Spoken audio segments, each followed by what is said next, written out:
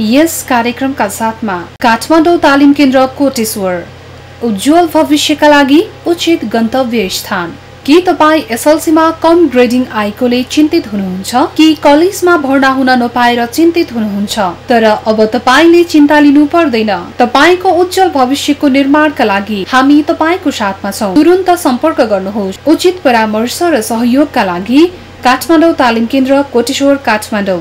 Phone number शून्य एक पाँच एक चार सात एक नौ सात। मोबाइल नम्बर अन्ठानब्बे पाँच दस छयासी सात पाँच चार। Website W W W dot Kathmandu training centre dot ORG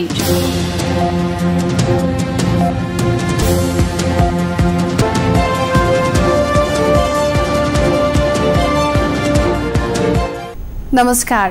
पौरखी हातहरूको नियमित श्रृङ्खलामा स्वागत छ। मानव जीवन आफैमा एक पाठशाला हो। जीवन बिताउने क्रममा जीवनमा पटक पटक रुनुपर्छ त पटक पटक हाँस्नुपर्छ। जीवनमा कति कार्यमा सफल भइन्छ त कति कार्यमा असफल। जीवनमा कुनै कार्यमा सफलता हासिल गर्नेहरूका धेरै असफलताका भोगाईहरू हुन्छन्। रुदा रुदै हाँसेकाहरू र मृत्युको नजिक पुगेर पनि बाँचेकाहरूको वास्तविक भोगाई हो पौरखी हातहरू। हामीले आजको पौरखी हातहरूको श्रृङ्खलामा विजय राणा भाटको पौरखलाई समेटेका छौं।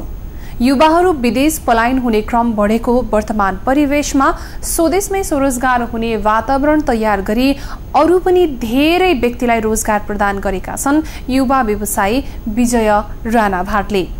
उनी व्यवसायमा त सफल छन् नै व्यवसायको साथ साथै समाजमा पनि उत्तिकै सक्रिय छन्।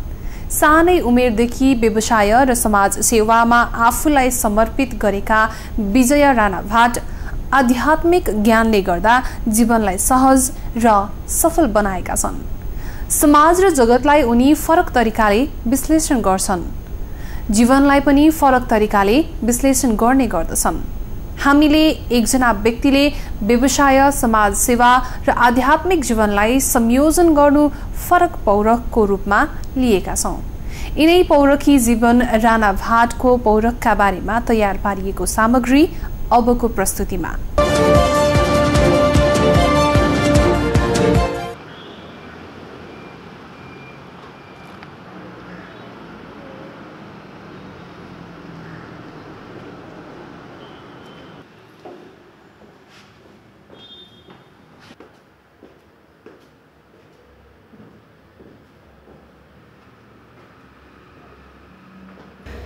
आफ्नो पौरखले विभिन्न व्यवसाय सञ्चालन गरेर समाज सेवामा प्रत्येक महिना आफ्नो आयको केही रकम खर्च गरेर समाज सेवामा आफ्नो अलग पहिचान बनाएका पौरखी हुनुहुन्छ विजय राणाभाट। असाध्यै सरल एवं मिलनसार स्वभावका विजय राणाभाट एक फरक प्रतिभाशाली व्यक्ति हुनुहुन्छ। उहाँले विभिन्न कम्पनीका साथै सामाजिक कार्यमा पनि आफ्नो जीवन समर्पण गर्नुभएको छ। डाक्टर स्वामी विकासानन्दको दर्शनबाट प्रभावित विजय राणाभाट लोभ क्रोध र भयबाट व्यक्तिगत रूपमा मुक्त हुनुहुन्छ। युवा अवस्थामा नै उहाँले आफूलाई लोभ र क्रोधबाट मुक्त राख्न सफल हुनुभएको छ। डाक्टर स्वामी विकासानन्दको रेडियोमा कार्यक्रम सुनेर आफ्नो जीवन बदल्न सुरुवात गर्नुभएका विजय राणा भाटले आध्यात्मिक क्षेत्रलाई फरक तरिकाले विश्लेषण गर्नुहुन्छ। मलाई लाग्छ यो जुन अध्यात्मलाई मैले जब म ग्रेजुएट लगभग हुन खोजेको थिएँ त्यतिखेर त्यो बेलादेखि नै मैले डाक्टर स्वामी विकासानन्दलाई बुझ्ने मौका मिल्यो। सायद मलाई लाग्छ उहाँको मलाई मलाई उहाँको बुझाइ नै मेरो जीवनको एउटा टर्निङ पोइन्ट हो जस्तो लाग्छ। र अहिले पनि म उहाँको कुराहरू धेरै फलो गर्छु आफ्नो जीवनमा। र मैले त्यो बेलाबाट नै मलाई चाहिँ अलिकति चाहिँ यो जीवन भनेको के हो जगत भनेको के हो मेरो आफ्नो उद्देश्यहरू के हो मैले यो ठाउँलाई के गर्नुपर्छ भन्ने यस्ता कुराहरू मसँग सधैँ खेलिरहन्थ्यो। र एक किसिमले भन्दाखेरि उहाँलाई बुझे पछाडि मलाई एउटा ऊर्जा पनि मिल्थ्यो। र सायद मलाई लाग्छ त्यो कुराले चाहिँ मलाई ठुलो रोल खेल्यो कि यो अध्यात्मले चाहिँ मलाई अलिकति समाजलाई के गर्नुपर्छ भन्ने खालको। र र उहाँको कुरा गुरुको कुरामा पनि के थियो भन्दाखेरि पूर्ण समाजवाद पनि थिएन पूर्ण चाहिँ यो अध्यात्मवाद पनि थिएन दुइटाको मिक्स मिक्सअप थियो। ओम गौराय नमः ओम बुधाय नमः ओम प्राय नम ओम सर्वाय नम ओम सर्वविख्यातवाय नम ओम सर्वस्वय नम ओम। सर्वकाय नम ओम भवाय नम अहिलेसम्म हाम्रो दाम्पत्य जीवन एकदमै राम्रो छ। उहाँ एकदमै बुझ्ने मान्छे एकदमै इमान्दार मान्छे। उहाँको इमान्दारीपन नै मलाई एकदमै मनपर्छ। उहाँले काम भएपछि केही यता दायाँ बायाँ केही सोचेछिनँ उहाँलाई कामको चाहिँ एकदमै महत्त्व छ कि। उहाँलाई चाहिँ अलिकति रेस्ट गर्छु आफ्नो हेल्थको पनि विचार गर्छु भन्नुपर्छ। बच्चामा पनि त्यस्तो नराम्रो बानी थिएन बाबु। एउटा कस्तो भने मेरो छोरालाई फुटबल मनपर्ने। फुटबल त उत्पातै। धेरै। अरू त एकदम राम्रो बानी। अहिलेसम्म केही खाँदैन बाबु केही केही केही छुँदैन यसले। एकदम ज्ञानी छ मिनेती पनि छ। मेरो छोरो सही पनि छ। दिमागवाला छ। बाबु मेरो एकदम राम्रो छ यो छोरा।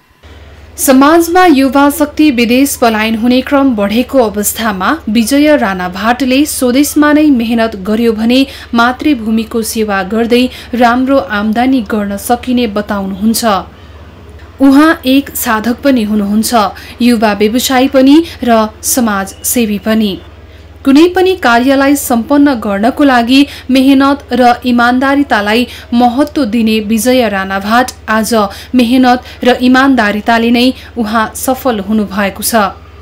समाजमा राम्रो पहिचान बनाउनु भएको छ। उहाँ एक फरक नमुनाको युवा पौरखी बन्नु भएको छ।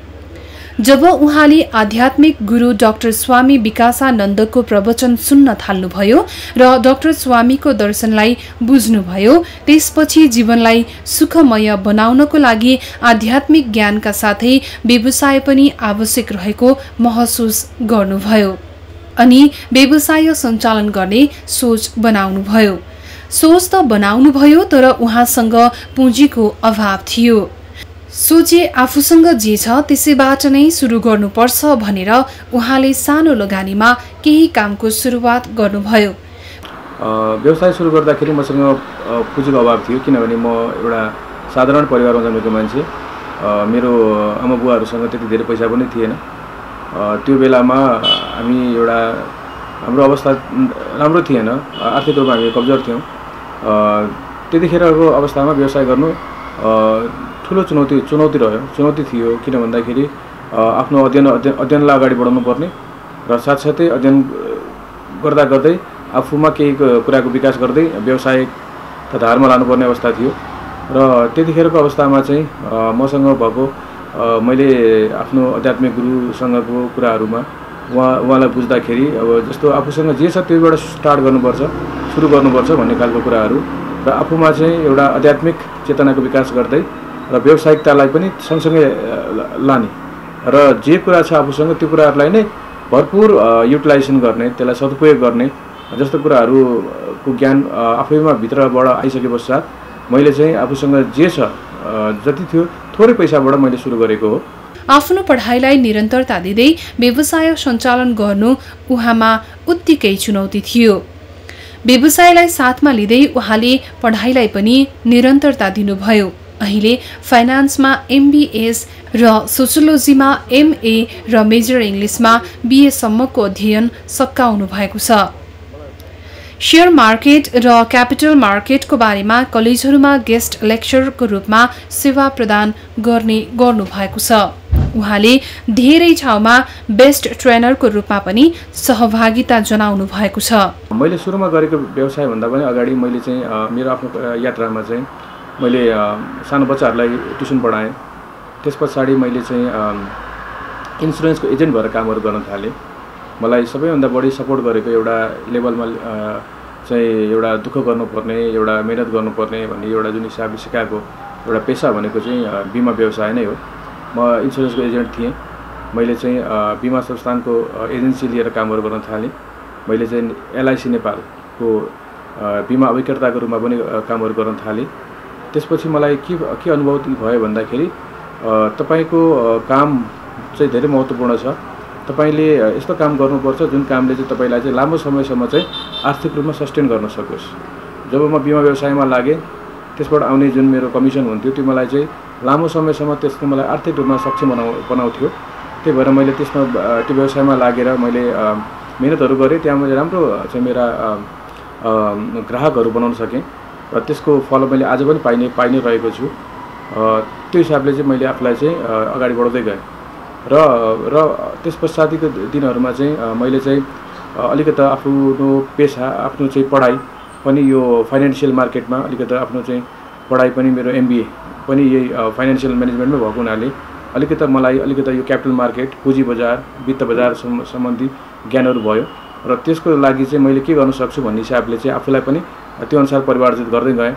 म एउटा चाहिँ सेयरको चाहिँ लगानीकर्ताको रूपमा सा साधारण लगानीकर्ताको रूपमा चाहिँ मैले चाहिँ सेयरहरूमा लगानी गर्न थालेँ सेयरलाई बुझ्न थालेँ। र यो सेयर बजारलाई बुझ्ने क्रममै मैले चाहिँ साथसाथै मैले त्यही बेलामा पनि आफ्ना साथीहरू मसँग पढेका एमबिएस गरेका म्यानेजमेन्ट गरेका साथीहरूलाई चाहिँ एउटा अब साथीहरू मिलेर के गर्नुपर्छ? गुरु गुरु विकासानन्द पनि त्यो कुराहरू पनि यस्तै खालको कुराहरू थियो। हामीलाई चाहिँ एउटा ऊर्जावान दिने कुराहरू थियो एउटा युथलाई अगाडि बढाउने कुराहरू थियो हाम्रा भएको पोटेन्सियलिटीहरूलाई अगाडि बढाउने कुराहरू थियो। त्यस त्यो अर्थमा मैले चाहिँ मसँग पढ्ने साथीहरूलाई चाहिँ जम्मा गर्न थालेँ र जम्मा गर्दा गर्दै मैले चाहिँ उहाँहरूसँग चाहिँ सहकारी गर्न थालेँ र हामीले एउटा एउटा ग्रुप खडा गर्न सक्षम भयौँ। एउटा क्रिएटिभ ग्रुपको हामीले निर्माण गऱ्यौँ र त्यो ग्रुपको अन्तर्गत हामीले चाहिँ सहकारीलाई सञ्चालन गर्न थाल्यौँ। एउटा सहकारी एउटा हाम्रो सक्रियता सेभिङ एन्ड क्रेडिट कोअपरेटिभ सहकारी हामीले सञ्चालन गऱ्यौँ। त्यो साथसाथै हामीले त्यस सहकारीमा चाहिँ पछि हामीले त्यसलाई चाहिँ एउटा इन्भेस्टमेन्ट कम्पनीको रूपमा पनि हामीले हाम्रो सक्रियता सेभिङ एन्ड क्रेडिट कोअपरेटिभ त थियो र हामीले इन्भेस्टमेन्ट कम्पनी हाम्रो सक्रियता इन्भेस्टमेन्ट कम्पनीकोलाई अगाडि बढायौँ।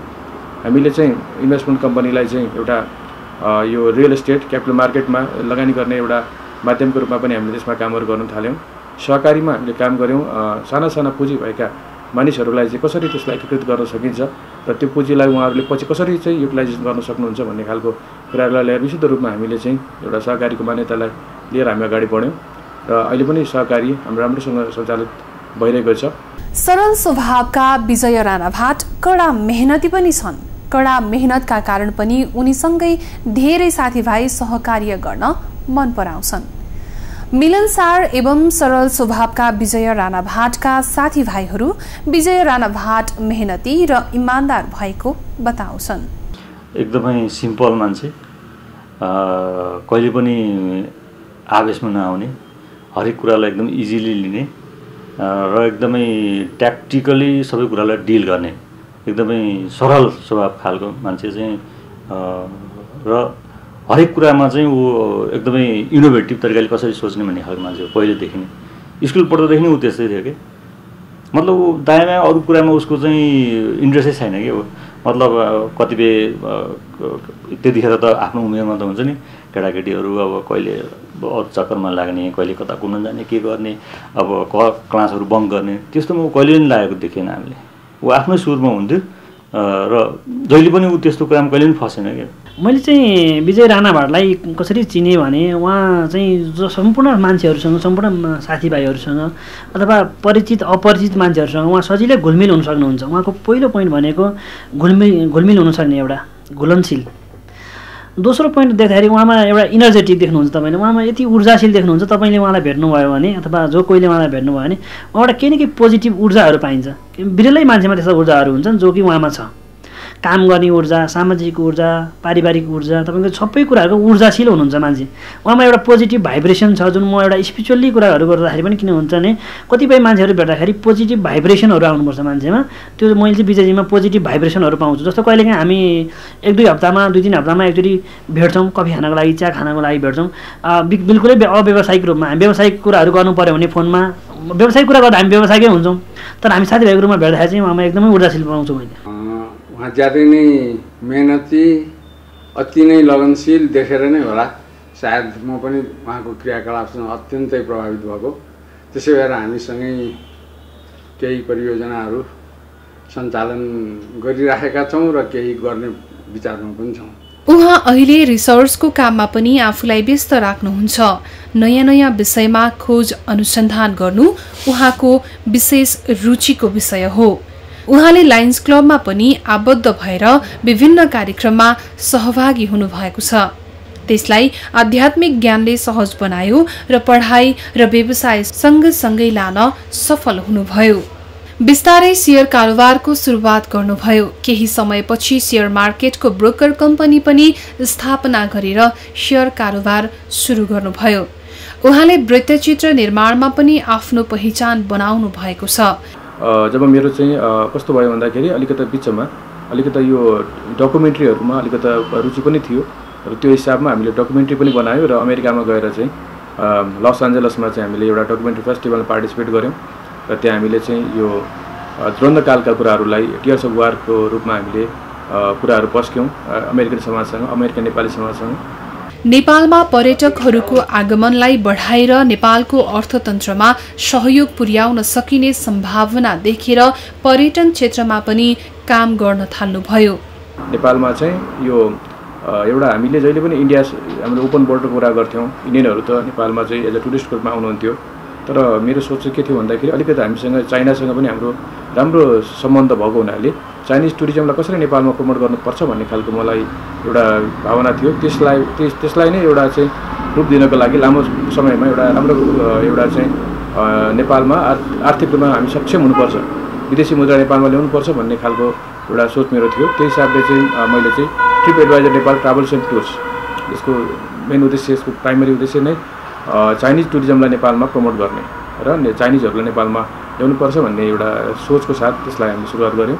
र त्यो भविष्यको यसको योजना त्यो छ। अहिले हामीले चाहिँ एडभाइजर नेपाल ट्राभल्स एन्ड टुर्समा चाहिँ हामीले अहिले नेपालीहरूलाई घुम्ने एउटा संस्कृतिको विकास गर्दैछौँ हामीले। नेपालीहरूले नेपालमा मात्रै होइन नेपालभन्दा बाहिर पनि घुम्न जान सक्नु जानुपर्छ भन्ने हिसाबले हामीले आउटबाउन्ड प्याकेजहरू विशेष गरी सेलहरू गर्छौँ। र यो हिसाबमा हामीले चाहिँ अहिले हाम्रो कामहरू चाहिँ एउटा व्यावसायिक यात्राको जुन एउटा सुरुवात छ त्यो हिसाबले चाहिँ मैले चाहिँ यो मेरा अर्गनाइजेसनहरूलाई नेतृत्व दिएर म अगाडि बढाइरहेको छु र शिक्षा क्षेत्रमा पनि हात हाल्नुपर्छ भन्ने हिसाबले मैले चाहिँ यो एजुकेसन कन्सल्टेन्सी टु थाउजन्ड इलेभेनमा चाहिँ यसलाई चाहिँ दर्ता गरेर सफलतापूर्वक सञ्चालन गर्दै आइरहेको छु। एकजना व्यक्तिले एउटा मात्रै कार्य गरेमा कुनै बेला समस्या आउन सक्ने उहाँको धारणा छ। तपाईँले एउटै मात्रै क्षेत्रमा हात नहालिकन किन विभिन्न क्षेत्रमा या राख्नुभयो हुनुहुन्छ यसमा चाहिँ म मेरो पृष्ठभूमिमा जान चाहन्छु। मलाई गुरु मेरो आध्यात्मिक गुरुले पनि यही कुरा भन्नुभयो कि तपाईँले जब अब अबको संसार भनेको कम्पिटेटिभ संसार छ एकदमै चुनौतीपूर्ण संसार छ तपाईँले एउटा मात्रै काम गरेर सायद त्यो त्यो काम चाहिँ भोलि गएर चाहिँ त्यसको चाहिँ समय सकियो भने कुनै पनि कुनै पनि कुराको अवधि हुन्छ त्यो अवधि पछाडि तपाईँ फेरि तपाईँमा एउटा फ्रस्ट्रेसन आउन सक्ला। तर तपाईँसँग अप्सन लिएर जानुभयो भने तपाईँसँग एउटा सक्यो भने अर्कोले काम त गर्छ किनभने हामीलाई त आफ्नो जीवन त चलाउनुपर्छ हो त्यसको लागि चाहिँ उहाँले पनि भन्नुहुन्थ्यो कि अहिलेको संसार भनेको चाहिँ एउटा मान्छेले चाहिँ दुईवटा खुट्टालाई चाहिँ दुइटै नाउँमा लिएर जानुपर्छ। त्यो सम्भव पनि छ। किन भन्दाखेरि हाम्रो जबसम्म व्यवस्थापन राम्रो हुन्छ त्यो सम्भव छ। यदि हाम्रो व्यवस्थापन राम्रो भएन भने नि हामी डुब्ने हो। तसर्थ मैले पनि यही कुरालाई नै एउटा आफै पनि व्यवस्थापन विद्यार्थी भएको हुनाले र यही कुराहरूलाई नै मैले चाहिँ लिएर अगाडि बढ्नु बढेको हो। किनभने आजको संसारमा चाहिँ त्यो गर्दाखेरि के हुन्छ भने आफ्ना खुबीहरूले विकास गर्न पाउँछ चुनौतीहरूसँग सामना गर्न सकिन्छ। आफ्नो आफ्नो अर्गनाइजेसन बिचमा नै कम्पिटिसनको भावना विकास गर्न सकिन्छ। आफूले समाज शास्त्रमा स्नातकोत्तर गरेको हुनाले समाज सेवामा आफूलाई कार्य गर्न सहज र सक्रिय रहेको बताउनुहुन्छ। कुरा गर्दा म आफै पनि समाजशास्त्रमै स्नातकोत्तर मैले एमए एमए गरेको छु समाज यो समाज सामाजिक विषयमा नै। र त्यसले पनि मलाई अलिकति समाजप्रति अलिक बढी नै गराएको जस्तो पनि लाग्छ। र मलाई के लाग्छ भन्दाखेरि मेरो एउटा सामाजिक समाजले नै मलाई एउटा गरेको हुनाले मलाई हरदम मलाई के लागिरहेको छ भने मैले जे गर्छु त्यो समाजलाई गर्नुपर्छ। मसँग भएको कुराहरू छ त्यो मैले समाजलाई दिनुपर्छ। मैले समाजलाई बाँड्नुपर्छ। किनभने म अलिकति आध्यात्मिक कुराहरूमा बढी नै म मेरो आफ्नो बिलिभ छ।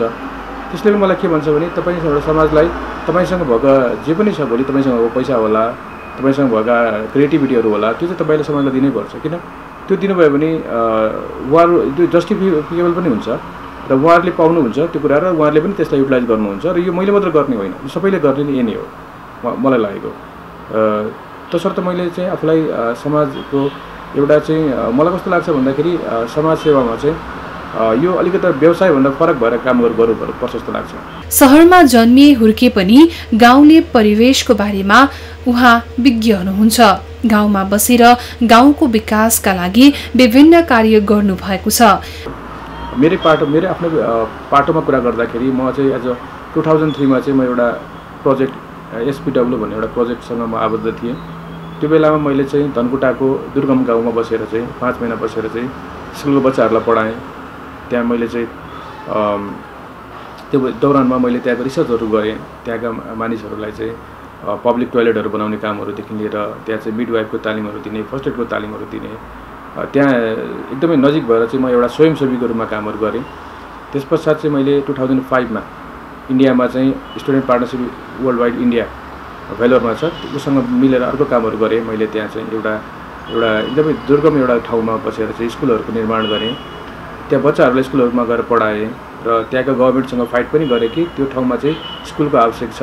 तपाईँ स्कुल बनाउनुहोस् भन्ने हिसाबले त्यहाँको लोकल गभर्मेन्टसँग फाइट गरियो र अहिले त्यहाँ स्कुल पनि छ। खुसी पनि लाग्छ किनभने एज अ स्व- स्वयंसेवीको रूपमा म गएँ एउटा दुर्गम ठाउँमा बसेर कामहरू गरेँ। त्यो बेलामा चाहिँ सुनामीमा मानिसहरूको मृत्यु भएको थियो। त्यो प्रोजेक्टमा पनि आबद्ध भएर कामहरू गरेँ तर त्यो पनि स्व- स्वयंसेवीको रूपमै कामहरू गरेँ।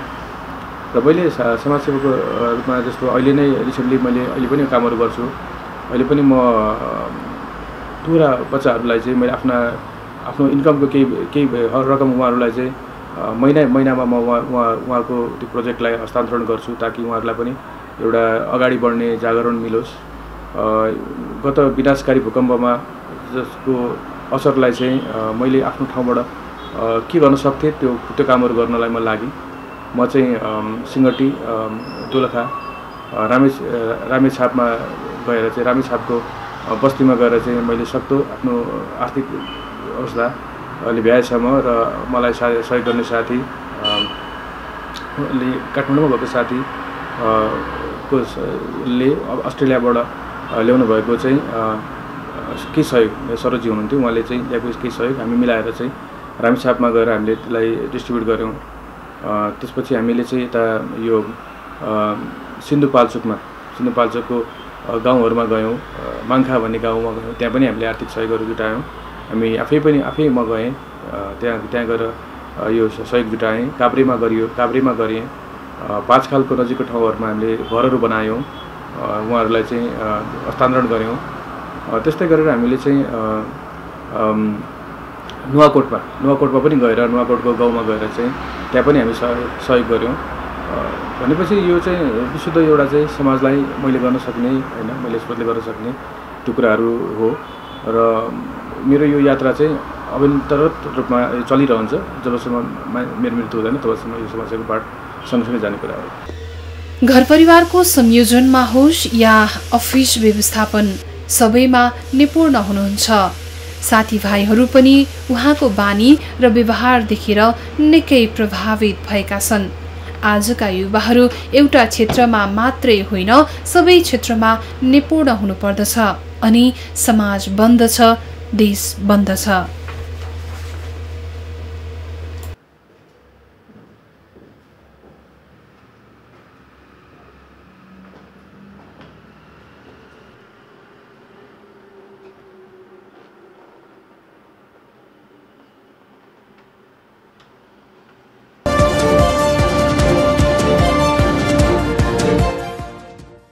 के तपाईँ एसएलसीमा कम ग्रेडिङ आएकोले चिन्तित हुनुहुन्छ? कि कलेजमा भर्ना हुन नपाएर चिन्तित हुनुहुन्छ? तर अब तपाईँले चिन्ता लिनु पर्दैन। तपाईँको उज्जवल भविष्यको निर्माणका लागि हामी तपाईँको साथमा छौँ। तुरुन्त सम्पर्क गर्नुहोस्। उचित परामर्श र सहयोगका लागि काठमाडौँ तालिम केन्द्र कोटेश्वर काठमाडौँ। फोन नम्बर शून्य एक पाँच एक चार सात एक नौ सात। मोबाइल नम्बर अन्ठानब्बे पाँच दस छयासी सात पाँच चार। Website W W dot Kathmandu training centre dot ORG समाजमा छिनछिनमै विभिन्न घटना परिघटना घटिरहन्छन्। विभिन्न कार्य भइरहेका हुन्छन्। कति खबर बनेका हुन्छन् त कति बेखबर रहन्छन्। ती बेखबरलाई खबर बनाउँछौ। र समृद्ध समाज निर्माणमा जोड्छौ। समाजका बेखबरलाई खबर बनाउने हाम्रो फरक प्रयत्न। तपाईँ हाम्रो खबर सबैको खबर। सामाजिक खबर।